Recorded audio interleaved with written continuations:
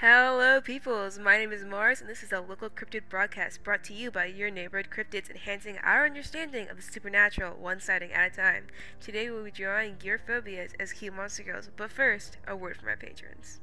Ages they have spent sculpting a mold. They used it to choose photos to post online and to choose actors for movies and to choose people worthy of love. And I would have it no other way. Living by this mold and never straying. What doesn't fit causes blood to boil. Hatred and disgust that clings to skin. I will fit this mold, Pygmalion in the sculpture, Romulus and Drama, King Midas himself. I will fit this mold, even if it means destroying myself. Sipping thick, lukewarm liquid, little whirls stuck to my breast, coughs sputtering as they slip into my stomach. I feel disgusting, but perhaps I won't when the tapeworms hatch. Perhaps I won't when I receive a new hair extension patch. Perhaps I won't when enough organs have been dispatched. Perhaps I won't when my teeth have been bleached white. However, we both know nothing can satiate this appetite. Well, that was interesting. On to the video. So, for the first girl, I did not do myself any favors and decided to start off with cacophobia or the fear of ugliness. So, while drawing most fears as monster girls, in theory, is really easy. You know, they're scared of spiders, you draw a spider girl. Really cute, really simple, really easy. But because cacophobia is the fear of ugliness, there's much more of a subjective aspect to it, to where I didn't really know what to draw her as. So I tried to instead encompass what it was like for people that have this phobia. So once I decided that, I knew that I kind of wanted her to be a Frankenstein monster girl. Yes, I know Frankenstein is the name of the doctor, uh, but the monster doesn't really have a name, or if he does have one, I don't care to remember it. So she kind of Frankensteined herself up a bit since people that have this phobia often spend a lot of money and time trying to overcorrect in response to their fear of being ugly. And because beauty standards are so subjective, I wanted to pay homage to what teaches her and everyone else what it means to be beautiful and what it means to be ugly, and that would be social media.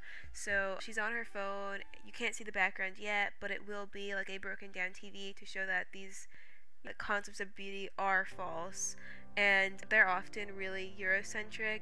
So I decided to try and make her beautiful in that way.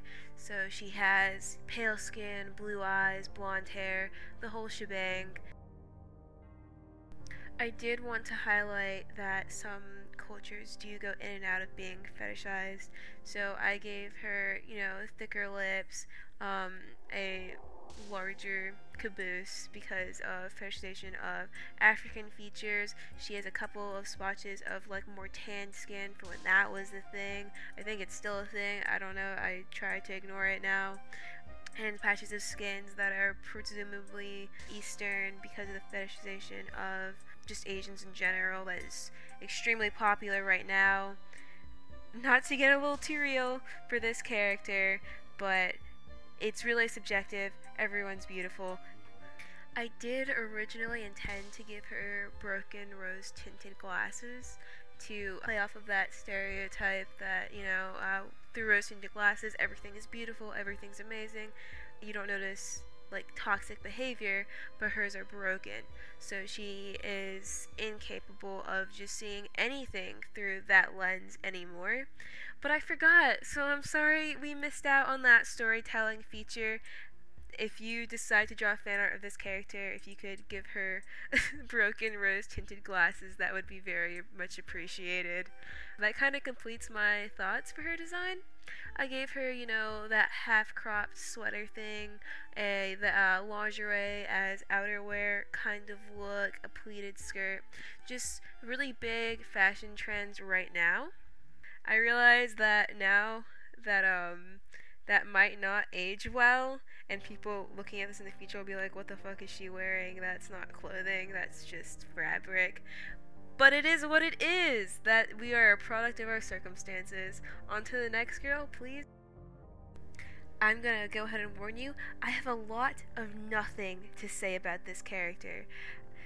Earlier, I implied that phobias, where you're scared of actual objects or animals, were much easier to draw since, I don't know, there's just a much stronger correlation. But I lied. This is girl is meant to be the fear of mirrors, and I hated every second of trying to design her. So, there weren't a lot of monsters I could see working for this, and while I do think mirrors can be a really good tool in horror movies, really spooky, really fun, trying to figure out a monster was not easy. I did have a friend suggest drawing them as a vampire, which, hindsight, I wish I did. But at the time, I decided against it because I thought that there wasn't a strong enough correlation. It would just be a girl holding a mirror, which doesn't really make her the monster of mirrors, if you know what I'm trying to say. So I decided to make her an android girl. Does that sound extremely left field to you? Because it does to me. Are androids even considered monster girls? Probably not. But here we are. I thought the segments, if I made them shiny enough, would look like mirrors. And so I gave them like knobby bits, I gave them that darker outline, an extremely reflective surface. And oh, I don't appreciate it. It's my least favorite drawing for this video but I had already drawn it three different times, or attempted to draw one three different times, and at a certain point, I just have to post something to fill this space. Didn't, didn't have to be good. So yeah, that was my thought process for that one. People with the fear of mirrors often have either a fear of things in the mirror being distorted reality, you know, so there's discrepancy between what's really there and what isn't. So the vampire idea honestly probably fit much better. But here we are. Uh, another interpretation for people who have the fear of mirrors, they could just be um, scared of their own reflection in particular, they have body dysmorphia, or just really bad uh, self-image issues. And I tried to convey that by uh, giving her like really long bangs like she doesn't want to see herself it's all over her body the mirrors and I love her hair it is the only part of her design I like and it has nothing to do with the prompt it's just cute fluffy white cloud hair um yeah I don't have much else to say about this because there weren't a lot of design choices that were going on um, her pose is cool, I guess. Can you guess today's uh, theme for the video yet? Uh, I don't know. If you haven't commented, do it or the patron will come and get you. Anyhow, uh, this one is just, this like drawing is just kind of filler so that we can get to my favorite drawing the video, which is the fear of dolls, pediophobia which sounds really like pedophilia, but I swear it's not. Uh, I guess, I don't know if we can really call this a design choice, but I put a giant mirror in the background. My first attempt at drawing this character, I thought that I could make her skin like broken shards of a mirror, get that seven years of bad luck thing going on. Or is it eight years? uh, comment below and tell me if it's seven or eight years, I suppose. I could just look it up, but, you know, comment, interact with the video, please. Anyhow, uh, I think I talked for four minutes, so we can get on to the next character. Woo! I honestly don't have much more to say about this character either, but I do like her so much more, and I have a little bit to say.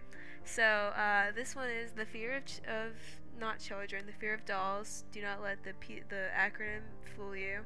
Uh, this one is a pretty straightforward fear since it is a fear of an object.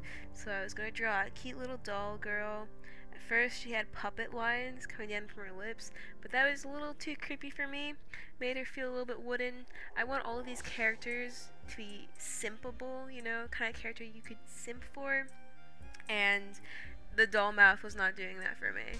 Uh, so I did give her these really cute ball joints. I think that they're endearing. Actually, they're really they're really cute to me. Um, and I wanted her to kind of be based off of those um, like these Japanese porcelain dolls. So she has like that darker, cool toned hair, and then really pale, uh, slightly warm tinted skin going on. And then I decided to just kind of double down but make it modern. I decided to give her like that Lolita s clothing which is really popular in Japan and is very doll like to me. So, frills everywhere! Everywhere! I love it. I intended this character to look Japanese, but because of the hat, I guess, she comes off as French. Maybe it's also the colors, but I love the color choices dearly, and so I'm not gonna change it. You can fight me. She, I also, uh, kind of last minute, decided to give her these like red cheek things that you sometimes get on dolls. At first, I thought they would be too creepy, but I honestly really did love them. Uh, normally, when I draw girls, my favorite part is to go through the skin and make them look blushy and cute. But for this one, I did kind of want to try and keep her plasticky looking, which was a little sad, but I got over it. Um, honestly, I don't understand the fear of dolls, but these are phobias, so they're not rational and something to be sensitive to people who have, since phobias, unlike fears, have extreme effects on people. Like, it has to be almost uh, semi debilitating fear, and so I'm not trying to make fun of the phobia but um, whenever it is used in a horror, I find it kind of funny. And it's not even because they're so small, it's just the, like.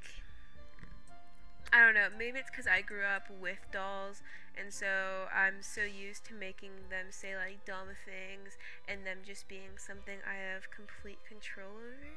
Or maybe that's what's meant to make it scary.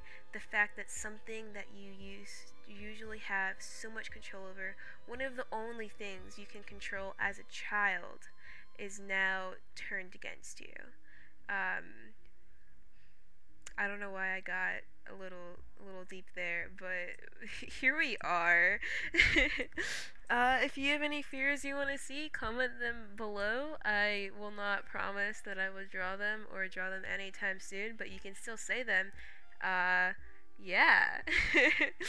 I also really enjoyed um, just like the shoes on this character they uh, were loosely inspired off of like actual Lolita shoes, not Lolita as in that movie about like I think they're I think they're prostitutes. I'm not entirely sure, but anyhow, I also gave her this like wind up doll thing on her back because I thought it was really cute but I'm actually not sure if you can have those in conjunction with joints like this for them to move.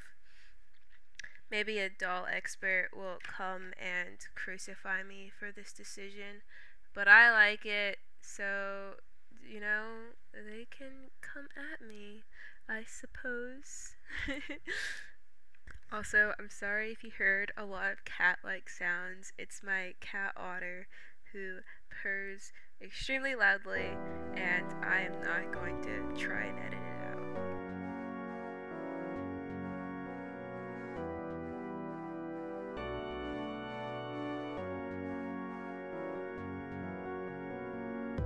Local Cryptid is not responsible for any of the following developments of odd or alarming sexual feelings towards dolls, mutilated or emaciated women's robots, your phone, or your own reflection, nightmares, boiling blood, sleep deprivation, vomiting, or itching, dramatic increases in hunger, decrease in inspiration, or cancer.